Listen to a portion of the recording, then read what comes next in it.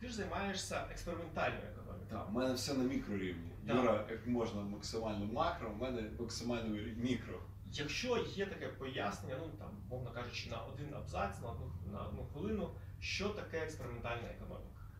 Е, Експериментальна економіка це частина економічної науки або метод, який ми використовуємо для того, щоб вивчати певні економічні процеси в лабораторії. Лабораторія наша це може бути комп'ютерна лабораторія, це може бути підприємство. Просто ідея ми створюємо експеримент. Тобто ми робимо рандомізовану вибірку. Ці люди приймають участь тут, ці люди тут, і після того ми порівнюємо результати, коли там ми зміняємо одну змінну. Угу. Це така ідея експерименту. Тобто є економічна гіпотеза якась. Так. ви- Гіпотеза, як правило, будується на теорії, тобто у нас є якась там чи модель, чи теорія ігор і так далі. А від цього ми будуємо гіпотезу, і потім ми створюємо експеримент, щоб протестувати ту чи іншу теорію або гіпотезу. Ну, давай ближче там якось до практики, щоб пояснити, що це таке. Як експериментальна економіка використовується чи використовується зараз на практиці? Ну, ось, наприклад, там відомий кейс, який не важко знайти, що там твій колега, і, мабуть, можна звати Вернер там Сміт. наставник Вернер Сміт розробляв модель приватизації енергоактивів в Австралії та Нової Зеландії. Да, да. Чи зараз якось на такому рівні використовується? Ну я скажу, якщо у вас тут в Києві ти їздиш на Uber, да, так дуже прошу ти є частина експерименту. Тому що Джон Лист, е, теж мій колега, скажімо, по професії, який є економістом е, е, Чикагського університету, він взяв позицію як Chief Economist of Uber. І він зараз проводить експерименти для того в Uber. Ти можеш їхати в Uber, навіть не знаючи цього, бути частиною експерименту. Тому так, да, реально це проводяться такі експерименти на макрорівні. Це мікроексперименти, які на макрорівні, тобто за масштабами. Сьогодні Світовий банк проводить експерименти в Африці. Тобто, замість того, щоб кидати, е, скажімо так, бездумно фінанси в ту чи іншу країну, чи той чи інший стейт там в Нігерії чи в якійсь іншій країні, вони, е, тобто рандомізовано проводять цьому даємо таку допомогу, а цьому таку допомогу. І потім реально дивіться, які результати. Тобто ці полісі, експерименти вони проводяться постійно і сьогодні більше як ніколи. Тобто сьогодні ми дивимося на світ як на велику лабораторію. Ну, а не знаю, чи можна задавати таке питання? В більшості випадків експериментальна економіка, вона все ж таки підтверджує, чи вона в опозиції до розрахунків, до моделей економічних там. Залежить. Тобто залежить е, тому тут і суть експериментального методу, що ми маємо можливість реально протестувати, скажімо, такі фундаментальні економічні теорії, наприклад, модель там конкуренції ринку. Да? Тобто, якщо маємо криву попиту, криву пропозицій, ну яка теорія, що там, де попит пересікає пропозицію, ті, в тій точці буде це буде точка рівноваги. Тобто буде конкурентна ціна, конкурентна кількість е, продажу товарів. Так от ми можемо створити такий експеримент. До речі, його недавно проганяв сам себе, коли викладав мікроекономіку, курс мікроекономіки. Це був там, скажімо, місяць назад. Ми саме цей експеримент проходили і показували, що ну як на диво, студенти, навіть не знаючи, що є така крива пропозиції і попиту, не знаючи, яка має бути точка рівноваги, знаходили ці ціни, які прямо ну просто як це як фантастика. Да? Тобто ці ціни вони converge, тобто вони приходили в точку рівноваги. А є інші експерименти, які показують, наприклад, експеримент довіри. Тобто, які показують, що люди насправді довіряють більше один одному, ніж те, щоб нам говорила там економічна теорія. Або експерименти там соціальної е, кооперації, тобто коли соціального блага, тобто коли е, prediction, або якби гіпотеза, передбачення таке, що це не повинно працювати на практиці. Ти проводиш експеримент і воно реально працює. І тому кажу, це залежить. Є такі елементи, або такі ринки, де воно працює, є ринки, де воно не працює. Ну, довіра для України це така дуже дуже важлива тема, тому що Для всіх це важлива ну, тема. в Україні не знаю, може можливо є країни, де менше там загальної довіри, але у нас він там дуже маленький, і ти в своїх лекціях казав, що тобі було б цікаво зробити якийсь експеримент, щоб е, ну саме в Україні, щоб дослідити, що можна з цим робити. Якщо в тебе ну такі є ідеї, і дійсно, що може підіймати е, довіру в суспільстві? Ну, я дам один такий приклад. Е, Цю працю я написав якраз з Верном Смітом, своїм колегою, тому що я працював е, з Нобельським лауреатом е, ще в Каліфорнії 4 роки. Ми тоді написали таку статтю, де ми створили такий ринок, де є особа один, яка дає фінанси особі 2, і ця особа 2 дає фінанси особі 3. Тобто має бути такий ланцюжок, щоб ми реально провели цю економічну транзакцію. І коли я тобі даю фінанси, вони множаться. Тобто, скажімо, там якийсь де коефіцієнт прибутку, тому що ти краще вмієш оперувати цими фінансами, ніж я, наприклад. Ти даєш комусь іншому. І такий виходить ланцюжок, але я, наприклад, не знаю, що будеш робити ти. І я не знаю, чи та особа буде давати тобі і так далі. Тобто дуже багато uncertainty, такої не, асиметричної інформації і невизначеності. Так от ми контрольовано брали, просто якби піднімали цю завісу, де я повністю всі ці транзакції, які відбуваються, чи вони є, скажімо, відкриті чи закриті. Так от, коли ми повністю піднімаємо завісу, тоді ми маємо найвищий рівень довіри і найвищий, як би сказати, коефіцієнт корисної дії такого ринку, ефективність такого ринку. Ну, відповідно, елементарний такий урок для всіх нас. Ми повинні відкривати максимально давати інформацію, прозорість у будь-яких транзакціях, які відбуваються. У нас в Америці це Freedom Act, так, тобто будь-хто може мати доступ до якоїсь інформації, як той чи інший державний бюджет використовується на ті чи інші, скажімо, речі. Тому от елементарний приклад такого експерименту, де показується, нам потрібно там бути прозорими. Е, І є багато інших таких варіантів, де ми реально можемо працювати, піднімати довіру.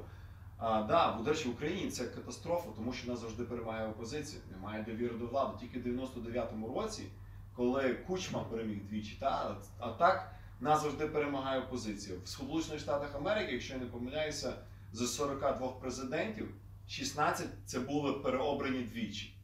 Тобто, ви розумієте, якщо врахувати, що двічі ти переобраний після того, ти просто фізично не можеш бути переобраний за конституцією, то виходить, більшість президентів Америки, ну тобто, перебираються, довіра є суспільства, незважаючи на те, що у нас теж трапляються казуси, наприклад, Трамп і так далі.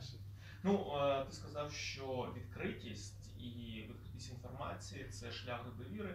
Тут в мене є, ну можливо, там якась пісня така.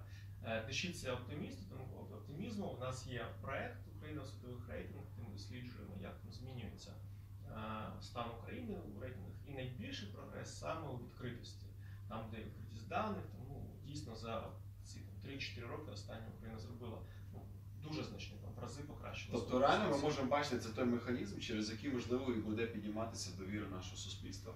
Хоча знову ж таки це тільки один механізм, ми повинні вивчати ці механізми і повинні втілювати в практику. Ну а який можна було б не знаю, експеримент в Україні зробити дослідження причин довіри, недовіри? А, ну, по-перше, потрібна систематична така survey праця, тобто потрібно зробити нормальні опитування, тобто чому люди не довіряють тим чи іншим політикам. Так? Тобто ми визначаємо, що є такі, такі, такі, такі та фактори. Тобто ми можемо створити це суто такий кейс studies починати з, з маленького, потім зробити масштабне опитування. І після того, коли ми визначили, які ці фактори є, ми можемо починати точково проводити ці експерименти. От давайте цьому скажімо, цій вибірці людей, ми дамо їм цей механізм, наприклад, скажімо, вони не довіряють, тому що їхній мер не зустрічається з людьми і не там. Тому ми зробимо можливість зустріч мера з такими людьми, і після таких зустрічей подивитися, що таких людей піднімається рівень довіри чи не піднімається. Ну, от приблизно таким чином ми можемо проводити ці експерименти, дивитися. Бо справа в тому, що дуже часто буває, що люди навіть самі не знають, що вони хочуть. От вони кажуть, нам би дуже хотілося зустрітися з нашим мером регулярно кожного тижня, і тоді нас підніметься рівень довіри. А коли ми проводимо експеримент, вони зустрічаються кожного тижня і нічого не міняється. Тому дуже важливо проводити експерименти, не тільки робити якби такі соціальні суто опитування. Ну, до речі, може тобі буде цікаво, останній там рік мене дуже дуже так це е, дані з соціологічних опитувань вражають ну, більше за все, що якщо ми кажемо про політиків загальнонаціонального масштабу, жодного з них там нема ну, 20-30 рівень рівень довіри, це потолок. Да, там, а не довіри ну, більше. Ну, да. Але якщо взяти е, політиків регіонального масштабу, тих, тих же мерів, там, Дніпропетровська чи Харкова, там, на мою думку, одіозні персонажі, то в них рівень довіри там, ну, він просто там шалений, більше 50%, там 70-80%. Тут, до речі, якраз ідея, чому ми повинні проводити реформу децентралізації. Це якраз ще один з варіантів, як піднімати довіру населення, тому що реально на місцях влада вона є більш підконтрольна, вона її можна більше перевіряти, її легше переобрати. І тому це навіть ці всі дослідження вони ведуть нас до того, що реально певні елементи децентралізації потрібно впроваджувати. Ну, ближче до е, ми трошки про що Україні ну, децентралізація є, дані відкриваються, так пропаганда. Ми вже так трошки сказали, що експериментальна економіка використовувалась для того, щоб розробити модель приватизації. В Україні приватизація це якась там дуже довга і печальна історія. І ця влада, коли приходила, вона ставила своїм пріоритетом приватизацію. Але за 4 роки ну, нічого суттєвого, нічого великого е, не було продано, і навряд чи ми побачимо вже велику розпродажу. Ну, це гіпотеза. Тут є як об'єктивні, так і суб'єктивні причини, да, що там і українці не підтримують приватизацію, і тут, чесно кажучи, не стоїть черга з покупців, але і там, особливої політичної волі ми не бачили. Да. Ну, на твою думку, як можна було б проводити приватизацію в Україні? Чи як підходити до цього питання? Ну, перш за все, це дуже слушне питання, взагалі важливе питання. Над цим потрібно працювати. Я думаю, що нам перше треба почати, звичайно, трошки суспільства, тому що коли суспільство буде за приватизацію і штовхати, тоді вже буде політичні сили підпирати їх, щоб вони приватизовували, тоді вже ми можемо щось говорити. Як це можна зробити, як популяризувати такі речі в суспільстві? Ми розуміємо, до речі, я розумію скептицизм, який йде від суспільства, тому що реально нас колись були посадили на цьому. Да? Казали, буде приватизація, і Ахметов, Коломойський і так далі. Е, Приватизували головні основні об'єкти, а люди цього нічого не отримали. Так, а, так от потрібно донести такий меседж е, людям, наприклад, що реально, якщо ви будете якщо буде відбуватися приватизація цього чи іншого підприємства, що відбудеться? Е, Воно буде перш за все в відкритому форматі. Буде доступ будь-кого, хто хоче до цього прийти. Будемо по телевізору це кажемо показувати. І всі фінанси, які з цього підуть, прийдуть, скажімо, піде вам в кишеню і мені. І ми розділимо це на, на скажімо, на 42 мільйони е, громадян, і відповідно кожен отримує суму від тієї приватизації того великого підприємства. Це, до речі, навіть не моя думка. Я сьогодні зустрічався з людиною, яка мені цю думку підказала. Я вважаю, це досить такий непоганий, хоча радикальний такий метод. І відбувається така велика приватизація. Але ми говоримо бабусі, там, дідусю, слухайте, оце, що ви бачите, буде на телевізору продаватися, ви зразу витягаєте калькулятор і рахуйте, розділити цю суму на 40 мільйонів, це стільки, скільки вам держава дасть особисто в кишені. Ну, ці 100 гривень, там якась. Так. Ну, Тобто, щоб популяризувати, показати, що вже такого, якби ну, таке слово, лохотрону, як колись було, не було, не буде. І ну треба думати, треба думати над такими механізмами реальними, які ми можемо запропонувати. А знову ж таки, треба працювати, ну так. Річард Тейлор, це Нобелівський лауреат, який отримав премію. До речі, він е, вихідець з нашого департаменту, з нашого університету, з економічного факультету. Так, він якраз показав, що не потрібно деколи навіть такі скажімо, великі якісь механізми, всього лише робити поштовх. Цей наш його відома книга поштовх.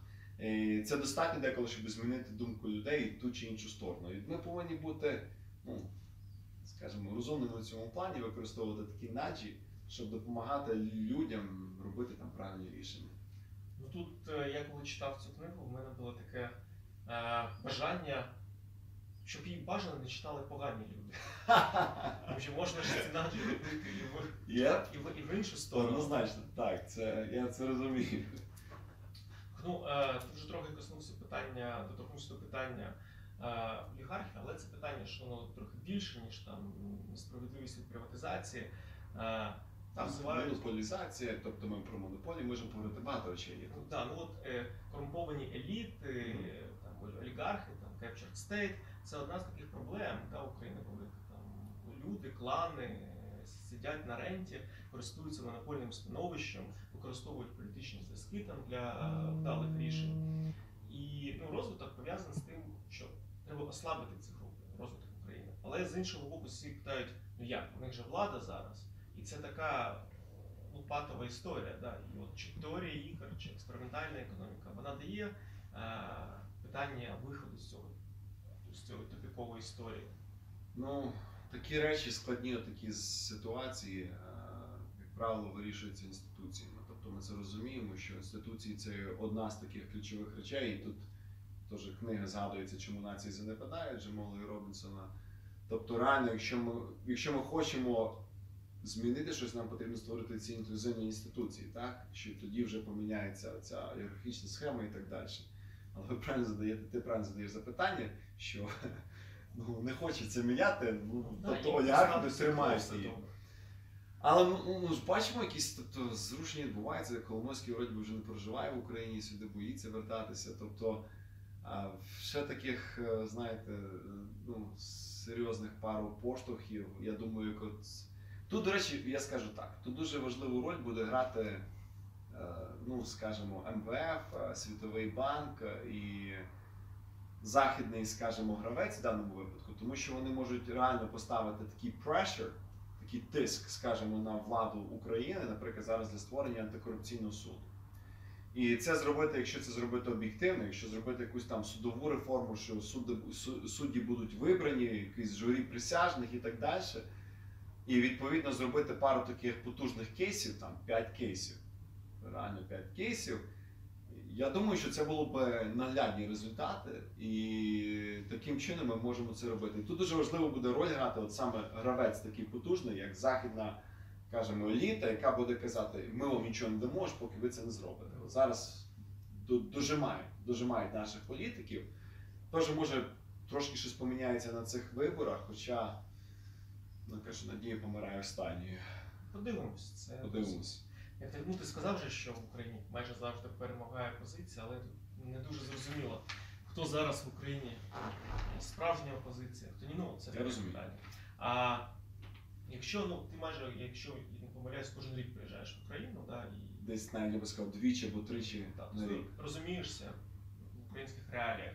Якщо так уявити собі картину нереально, да, що умовно кажучи, в тебе є можливість зробити 5-7, вирішити 5-7 проблем української економіки, тебе повноваження умовного піночета.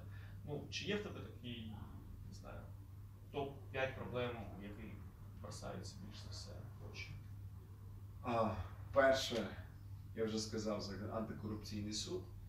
А, і на, скажімо, на судову реформу, якщо провести, то щоб в нас було все дуже просто, щоб судді вибирали люди на місцях.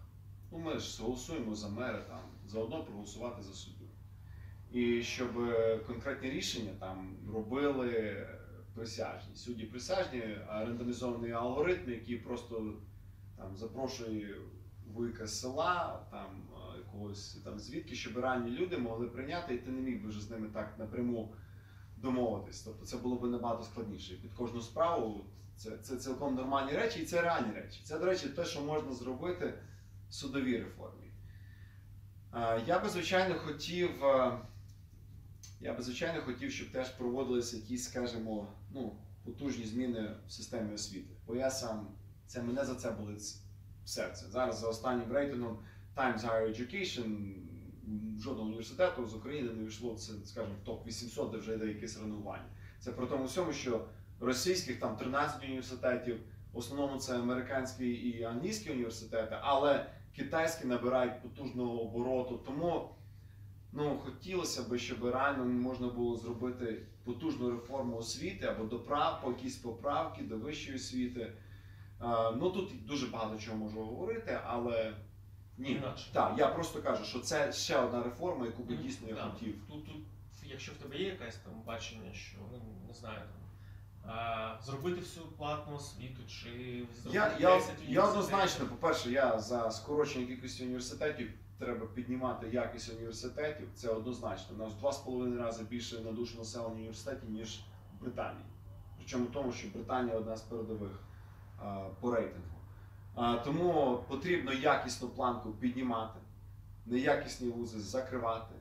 А, якщо б ми могли перейти на приватний, тобто, звичайно, це було б дуже добре. Тобто освіта повинна бути платною. Якщо так взагалі взяти у світі, тобто, якщо б ми були дуже високо розвинутою там країною економічно, ми можемо щось говорити за якісь соціальні там виплати, але нас сьогодні йде навчатися кому ні лінь або кого запхали батьки.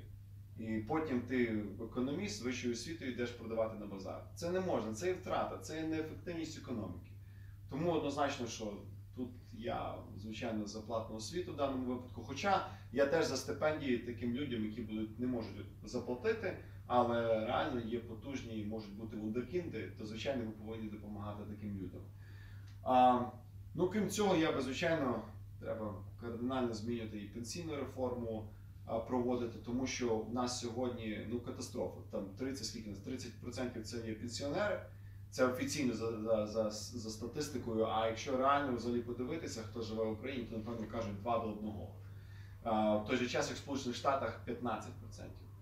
Тобто 6 чоловік працюють на одного пенсіонера, і там, що я не помиляюся, пенсія є меншою середньої, від середньої зарплати, навіть ніж в нас. Тому в цьому плані нам потрібно робити реформи. Якщо б нам вдалося запустити біржовий якийсь ринок, або принаймні, ну скажімо, це вже більш такий фінансовий механізм, це теж було б дуже круто, тому що в нас основна проблема в Україні теж є та, що люди тримають гроші під матрасом. Тобто, замість того, щоб кидати їх в економіку, вони, ми бачимо навіть по і деклараціях, ну стільки готівки тримати на руках. Вже чому вони це роблять, це інше запитання. Ну це просто я це нерозумні люди, якщо вони просто тримають готівку на руках, тому що реально в мене жодного долара, ну в кошельку може є пару доларів, тому що я розумію, що тут в Україні деколи треба готівку розрахуватися, в деяких там ресторанах чи ще щось, але загалом всі мої фінанси, вони всі постійно працюють на мене. Ну, от такі елементарні кроки, ці такі механізми, я думаю, якби я міг це якось реально зробити, я б я б Ну, це робив. да, це так. Вони мені здається не дуже прості в реалізації, тому що ти сказав, що багато пенсіонерів, але нещодавно вийшла статистика, така трохи, ну я не знав, мене приголомшило, що в Україні 22 мільйони людей щось отримують від государства якусь Тобто це не тільки пенсіонери, а й льготники і так далі. льготники, субсидії, так, там, так, так. Це проблема, це, це, це дуже серйозна проблема. І більше третини всіх доходів населення це якась е, ось така пенсії, виплати, допомоги. Ну, 800, мі- майже 800 мільярдів ну, набігає. Е, ну, от цього питання в мене, що в одному з своїх інтерв'ю ти казав, що Україні, українці повинні змінити ментальність до економічного Мгм. успіху України. Ну тут мене трошки так воно знаєш, різнуло, тому, по-перше, що не так з сьогоднішньою ментальністю, а по-друге, як будемо змінювати? Ми ж е, не 33-й рік в Германії, там радіо не будемо захоплювати і віщати. Я думаю, що тут основна робота це просвітницька робота, тобто, щоб міняти, змінювати ментальність. Я вчора був на новому времені з Павлом Шереметою, така була передача два Шеремети, да? А ми просто одного фамільці, до речі, в мене є родичі. Так от якраз е, які постійно запитання йшли, я просто був вражений. Це були реально люди, ну я не кажу, що всі, але там, ну, там 3-4 дзвінка були реально ну, така ментальність совка, та? я не знаю, як це правильно сказати, тобто радянська ментальність. Так от е, ми можемо тут говорити за, за, за те, що нас це чіпає, там заживе, але ну добре, ми з вами прогресивні люди, там можливо у нас трохи інакша ментальність. Але це треба, до речі, зрозуміти. От я, наприклад, я дуже люблю, чому нації занепадають, тому що це е, інституція, це книга, яка показує інституції, так, вони важливі. Але тут треба зрозуміти, що цінності, от ментальність людська, вона є не менш важливою, і ми не маємо сьогодні, на жаль, даних, щоб сказати, це важливіше чи це. Але якщо подумати, це ще від Адама Сміта походить. Адам Сміт першу книгу свою написав Теорія моральних почуттів. То це про людину з середини. А вже там багатство народів, ніби це вже йде суто про інституції, про економічний процес. І от ідея яка? Ми повинні робити і це інституції, і повинні змінювати цінності, якісь там ментальні речі в нашому суспільстві. Я тут, до речі, не почати край роботи. Ну я не знаю, де тут мені почати. Наприклад, одна це громадська активність. Тобто наша, наш такий лозунг і право, моя хата з краю нікого не знає. Хто винен? Держава. Тобто, коли ми говоримо, звичайно, я розумію, ти, там є люди такі, які працюють над проектами Vox Україна, і а, я теж задійний в Alumni Fund Ukraine, тобто є проекти, над якими ми працюємо.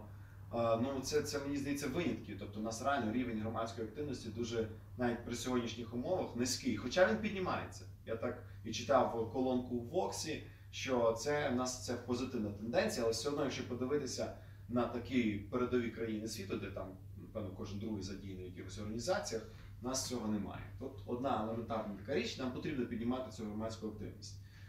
Ще одна річ, наприклад, така річ, як там трудова етика. Так? Тобто, як ми працюємо, у нас в Україні це прекрасний були період часу травневі свята. Тобто ми фактично починаємо місяць випадає з робочого режиму. Не знаю, Фокс працював? Ну, працювали, скільки ж можна відпочивати? Ну чекай, ну так офіційно треба відпочивати. Ну тобто, ми, ми- ти розумієш, що є 11, наприклад, офіційних вихідних днів тільки в Україні, плюс ку- ціла куча там релігійних праздників. Той час, як в Сполучених Штатах є 6 державних. Ми можемо про багато чого такого говорити. Ми можемо говорити про культуру заощадження. Я не знаю, це один історик сказав український, що українці це єдина нація, яка останньою моделлю айфону світить собі дорогу в туалет та на вулицю. Ну, це такі, тобто, речі, які вони, вони насправді є. Вони є, вони це, це, це не є навіть жарти, це, на жаль, деколи треба плакати. Ну от, е, ну перше я хотів сказати, хотів от, як сказати, трохи виправдати новий час. Вони пояснили, чому в них ну їх дуже цікаво слухати зараз їх дзвінки. Да. Тому що е, це нове радіо, яке спустилось там менше ніж два місяці тому. Мгм. А до цього на цих хвилях дуже дуже довго була радіо Ера. Мгм. І радіо Ера вона була націлена на зовсім іншу аудиторію, якраз там е, Зрозуміло.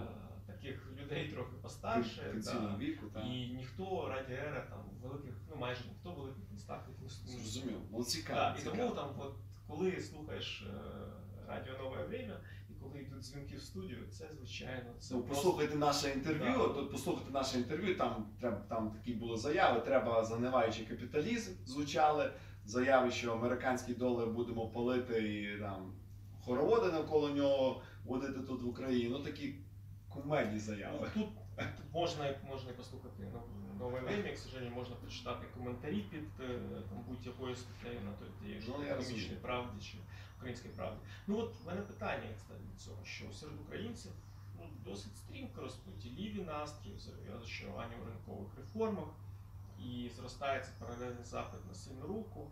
Ну, чи буває таке, ну таке трохи провокативне в мене питання, що може народна, народна мудрість має сенс, і Україна на даному етапі розвитку не може побудувати ефективні демократичні економічні інститути. І треба дійсно шукати мудрого гетьмана і наділити його на якийсь час великою владою. Мені це не хочеться вірити. Тобто хочу бути оптимістом, що все-таки ми розберемося в цих всіх е, популістичних таких е, заявах, які ми сьогодні чуємо. До речі, це, це ж не тільки проблема України. Брексіт, тобто ми розуміємо подібні настрої і в Сполучених Штатах Америки. Взагалі цікавий феномен, коли популізм перемагає. І я бачу, що в Україні, ну звичайно, ми можемо попробувати повернутися до того, хоча я сподіваюся, до цього не дійде. Я просто я, я не втратив свою віру в людство, не втратив свою віру в таких людей, як я маю можливість зустрічатися тут в Україні, як в Оксівці, і е, Київська школа економіки, і Alumni Fund Ukraine, і різні ініціативні проекти. Тому а, і мені здається, я, вже їх бачу. До цього я їх навіть не бачив, а сьогодні я вже реально бачу їх вплив. І от е, хотілося б все ж таки, щоб це розвивалося, а не я не вірю в це. Тобто я не вірю. Моя відповідь. Я не вірю, що нам потрібна якась жорстка така рукавиця, яка прийде і все змінить. Е, Тим більше історично ми, українці, завжди були проти цього. Нас взагалі, який такий бунтівний дух, якщо подумати, там Гетьманщина. Тобто ми завжди боролися за свою свободу, завжди боролися проти царя, а тут нам вже потрібен цар. Януковича ми знову вигнали, і ще нам потрібна ще якась жорстка рука. Не потрібно українцям жорсткої руки, просто потрібно правильно сформувати е, ці інституційні такі речі, відрегулювати економіку, і у нас все буде окей. Ну, ти вже сказав, що це не тільки там українська там хвороба, що і в мене навіть є питання, що тут досить е, нечастий випадок, коли Україна в мейнстрімі з США з економічної політики. Зараз е, в США є там, не знаю, rise of е, протекціонізм, да, і т- торгівельні війни. І в Україні протекціонізм теж. Ну, його ну, він є і залишався, і зараз набирають е, популярності лозунги. Купуй українське, можливо, ти чув, тут є такі ініціативи. Е, Я я, знаю автора цього закону. Да, як економіст, як ти ставишся до ідеї протекціонізму? Ну я ставлюся по науково дослідженнях. Я тільки тільки так можу ставитися як економіст до таких речей. А, наукові дослідження, як правило, показують таку закономірність. Це, що я можу сказати, це економічний факт. Тобто протекціонізм він веде, перш за все, він, е, як правило, грає проти споживача кінцевого. Тобто тут однозначно постраждає український споживач, тут немає в нас якихось там ілюзій, так? тобто ціни будуть вищі. Друге, це те, що він сприяє зростанню корупції. Це такі два елементи. Якби я можу дати навести багато-багато прикладів, які реально ведуть до цього. Чому, наприклад, скажімо, навіть в Америці можливо деякі елементи протекціонізму можуть спрацювати? Е, Тому що Америка все ж таки більш е, ну якби вона захищена від корупції, тобто сама система працює, так тобто нас суди працюють, нас працюють такі, такі речі. Тому, але я скажу так, що у нас в 30, е, в 30-х роках, в 30-х роках е, зараз дуже багато є досліджень, які показують одна з причин, чому навіть сталася Велика депресія. Це були елементи протекціонізму, результат протекціонізму англійського, американського. Але, до речі, я тут ще таку скажу одну річ, що наш національний виробник він захищений. Перше, Український. український, звичайно, захищений, тому що, перш за все, є в нас мита, які досить високі. Мені тут купити свою машину, у мене, скажімо, RX 350, Lexus, хороша така машина, я її можу в Сполучених Штатах купити за 40 тисяч доларів. Тут я її маю купити за 70 чи 80. Ну це, це ж ну це просто ну я, який ще захист може бути? Тобто мито явно високі, тому що такі ціни на машину. Крім того, праця тут набагато дешевша.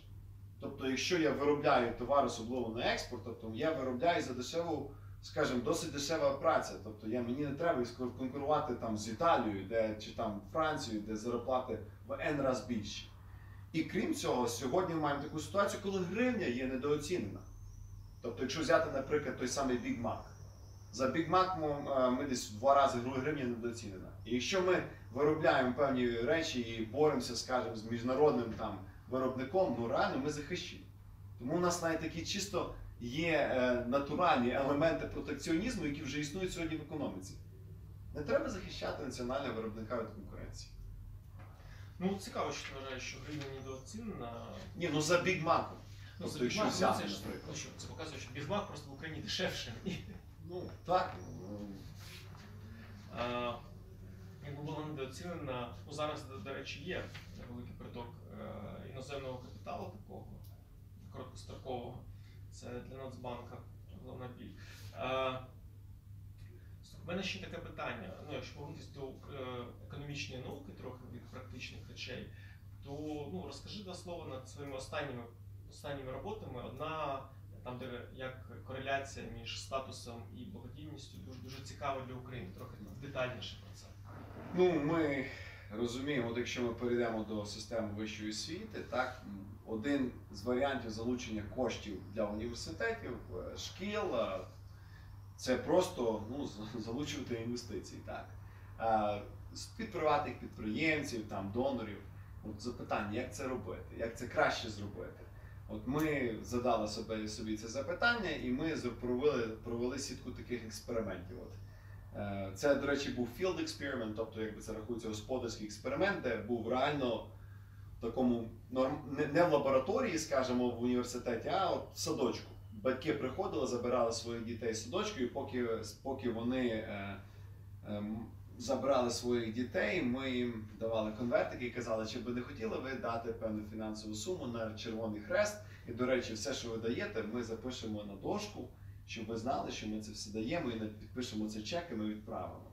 Ми це повторили, скажімо, там 10-15 разів, щоб мати певну вибірку. І відповідно, там, скажімо, в середньому люди дають 5 доларів. Так.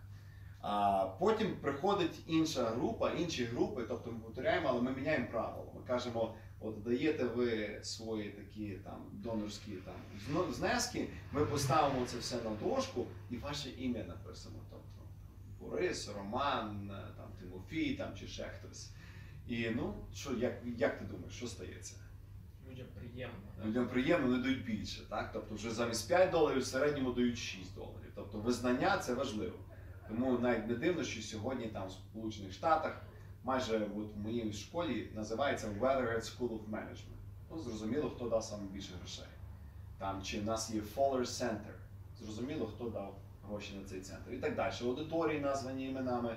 Тобто це працює. От така статистика, це не моя, до речі, а Джона Листа, який займається в основному цьому напрямку, що 90% е, скажімо, такої меценатської е, скажімо, мотивації це є егоїстична мотивація. Тобто ми даємо, що тому що ми хочемо якісь там визнання, чи нам це дуже приємно, ну такий warm glow, тобто нам я дав, тобто я допоміг, і ти себе гарно почуваєш, а не суто такі альтруїстичні там е, речі. Але ми на цьому не зупинилися. Ми ще робили відповідні експерименти, де приходили люди, і ми казали, ми їм говорили, що ви даєте, але топ-3 ми напишемо ваші імена. От топ-3, але ти повинен попасти в топ-3. Competition.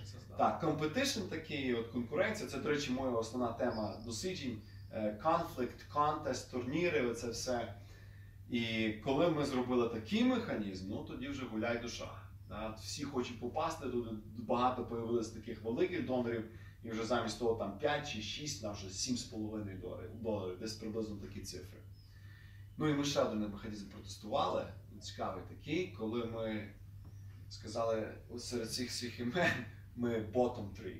Тобто останніх три, так, така гру- група не пошана, а група, я не знаю, Негативний. так, да. позору, негативний такий стимул. І, звичайно, в даному випадку теж дуже добре спрацювало, але вже всі приймали участь, всі давали щось, щоб уникнути цього негативу. Е, ну, це класний механізм, але він на практиці ми розуміємо, що не завжди буде працювати, тому що якщо я буду знати, що якщо я прийду на Vox Україна і я не дам там певну е, частину, скажімо, то я можу впасти в групу позору. Тобто я тоді на Vox ніколи не буду приходити. Тому і так ніби виходить така першочергова е, е, ну, проблема. Ну, але загалом, що ми побачили, що реальний механізм, коли ми навіть висвітлюємо донорів, то не варто казати, там от всі донори одинакові, а реально у нас є донори, які є там gold чи silver, і таким чином заохочувати, ну, скажімо, меценатство. І ці елементарні такі поведінкові експерименти показують нам, яка система працює краще. Тому що чисто так, навіть по-людськи, ми можемо подумати, коли ми висвітлюємо всіх людей, то там є ботом, там є найнижчі, ми бачимо і бачимо найвищі. Тобто вони можуть спрацювати краще, але вони не працюють краще. От реально щось створюється особливе, коли ти створюєш якусь таку конкуренцію за перші ті три місця, тільки ті три місця будуть висвітлюватись. Ну, така ідея. Ну, Америка трохи унікальна в цьому плані країна, що там ну, найбільша частина коштів, які отримують університети від е, своїх Випускників. випускників. Ну, є, є може розуміння, чи може є якийсь економічний факт, чому саме в Америці як це е, розвивалося, як це сталося. Цікаво, історично я це, цю подію саме не вивчав, тобто я не знаю, але я можу сказати, як воно працює. Тобто, дійсно, в Америці, по-перше, і ментальність така, що альма-матер, ну це дуже важливо. Тобто, це ти пишаєшся цим, і ти будеш все робити, аби це аби рейтинг свого університету підтримувати. І ти стаєш мільйонером, ти стаєш багатою людиною, і там в Америці дуже часто можна почути такі слова, як legacy. От я не знаю, як це навіть правильно перекласти українською мовою, але ти хочеш щось залишити після себе, і що ти хочеш залишити після себе? Ну, щось велике. А, так, так ось ну, останнє питання в мене таке трохи, як мені здається, вже філософське, тому що коли я готувався, а, то почитав, за що отримав е, Вернон Сміт, е, людину, яку називають, е, яка зробила великий вклад в експериментальну економіку. Він отримав у 2002 році. Пара- Ну, в той же час отримав Деніел Каніман, Кан- який там поведінкова економіка, і вони отримали е, з однієї теми, да, що там як звучало як е, за вивчення прийняття рішень та механізмів альтернативних ринків. А, але ну, от, читаючи там книжки Канемана, да, я там, коли закрив останню сторінку його Fast and Slow Thinking, я встав з враженням, що людина взагалі нічого не вирішує, що вона там е, під там 40 System 1 і System 2. Да, да. 40-50 байсів рулять всім, і що ну, людина така нерозумна. От Вороважі, ну я маю на увазі експериментальної економіки, все ж таки е, щось люди роблять не завжди, вони добре розуміють, але в цілому люди роблять якісь речі розумні. Ось е, можеш е, розставити точки над і пояснити. Людина істота розумна, раціональна в економіці чи не дуже? У нас завжди така відповідь в економіці і depends. Да? Тобто залежить, тому що залежить від того, про що ми говоримо. Якщо ми говоримо про ринки, от, до речі, чому ми так скажемо, віримо в ринки? Да? От, чому ми говоримо постійно за ринки? Тому що ми, як економісти, переконалися і на даних, і на експериментах, що ринки завжди працюють. Ну, як завжди, є, звичайно, конкретні там механізми, там монополії і так далі, яка може спотворювати ринки, але загалом ринки працюють. Якщо ми говоримо, наприклад, про речі суто такі більш психологічного характеру, де ми говоримо про довіру, про кооперацію, там же все-таки виходить такі, ну, є деякі елементи, які, скажімо, більш проблематичні. І тому в таких випадках можна казати, людина, да, вона керується байсами, от такими спотвореннями. Е, ну, але деколи ми, до речі, навіть ці байси використовуємо на на добро людям. Я, до речі, закінчу на такому прикладі. От у мене 1 липня починається експеримент в Уганді.